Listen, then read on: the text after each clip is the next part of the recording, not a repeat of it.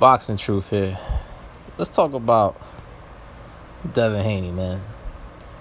Getting tired of the noise, the barking, the chirping that this cat's already displayed, already becoming the biggest clout chaser in the game, calling out all the big names, but ends up fighting nobody.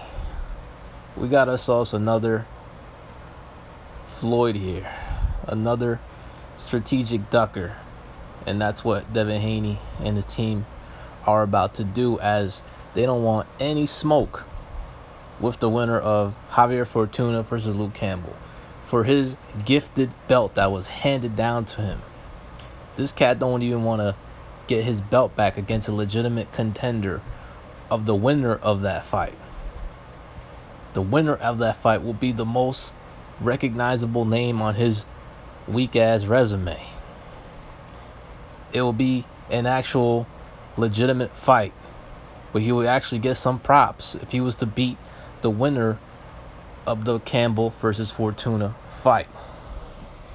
But all Devin Haney wants to do is act like he wants to fight all the top dogs, and yet the strategic ducking is already in place. Talking about going to 140 when there's plenty of heat in the lightweight division.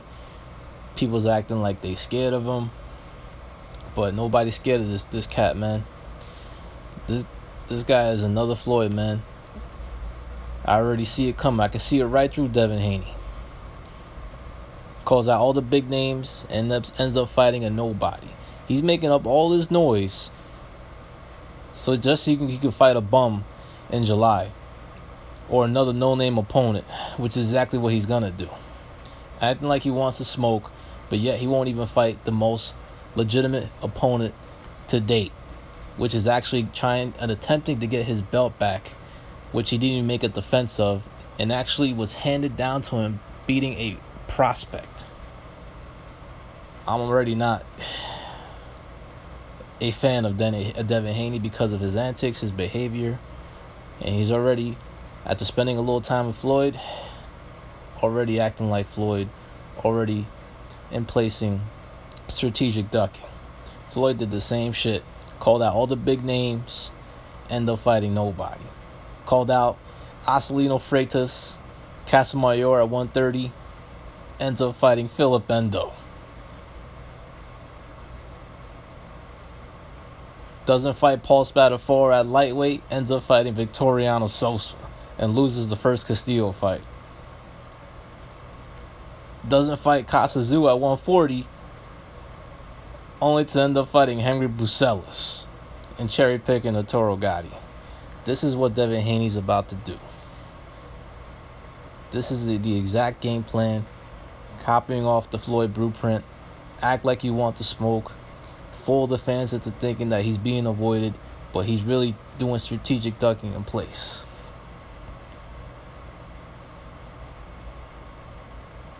He could just end up fighting the Fortuna Campbell winner. Since there's everyone in the lightweight division is actually booked. This is the problem. Everyone has a plan in the lightweight division. Ryan Garcia has a plan. Teofimo Lopez has a plan. Lomachenko has a plan. But Devin Haney ain't got no plan. All he wants to do is make noise. Just so he can fight a bum whenever he returns, which he says is going to be in July. Wants to announce to the world that he's moving up to 140 to fight who? Who are you going to fight at 140, bruh? Josh Taylor's got a plan. Jose Ramirez has a plan. They were top ranked, so who? What's the plan at 140? Why are you calling out Adrian Broner? You know damn well that fight ain't gonna happen. Who gives a shit about Broner now, anyways? Semi retired, hasn't fought in over a year, and he's pretty much shot to shit right now. Doesn't let his hands go no more. What's the point in that fight? People will watch, but the, that fight ain't gonna happen. Even Adrian Broner got a plan. Whenever he returns, if he returns, he's gonna fight a comeback fight. And then he's gonna get cashed out against Sergey Lipinets, Keith Thurman, or Danny Garcia, one of them got them guys, and then he'll be off for another two years in case he needs he, he needs money. Adrian Broner's done. That fight ain't gonna happen anyways. You calling out Mikey Garcia. But once Mikey Garcia beats Jesse Vargas, he's gonna take that seven million and go running back to Al Haymon. Besides, Mikey Garcia has a plan as well. So, a lot of name calling, not a lot of action. Acting like he wants to fight the big names. But all this cat's gonna do is fight the opponents that he knows he could beat. More no name opponents are in the future for Devin Haney. Won't even stick around in lightweight division. Won't even fight the winner of Fortuna Campbell. That's the fight you can make right now. That's the fight that you can actually get. That should be in your plan to actually get your belt back. But you're actually going to avoid and walk away from the from the belt that was gifted to you just so Ryan Garcia could pick up the slack for you. Because that's going to be the plan. What that's what that's what it's looked like. That's how it's going to pan out.